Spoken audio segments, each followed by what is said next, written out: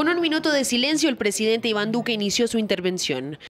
Acompañado de la vicepresidenta Marta Lucía Ramírez y otros miembros de organismos de investigación y control en la Escuela General Santander, el jefe de Estado repudió el hecho terrorista. Es un ataque no solo contra la juventud, ni contra la fuerza pública, ni contra nuestros policías solamente. Es un ataque contra toda la sociedad. El mandatario además pidió al pueblo colombiano unión en este momento y resaltó que la violencia no podrá doblegar a la nación. Hago un llamado a los colombianos para que nos unamos en contra de los violentos.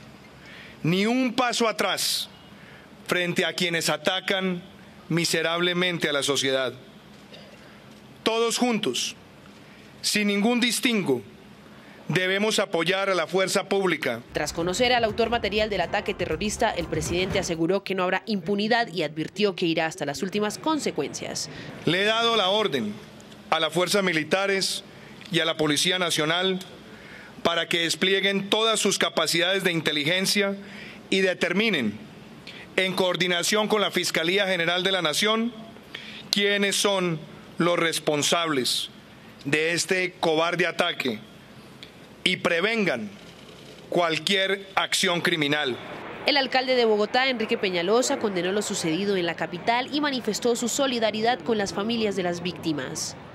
Pueden estar seguros todos los colombianos que nuestro Estado no va a ser intimidado de ninguna manera.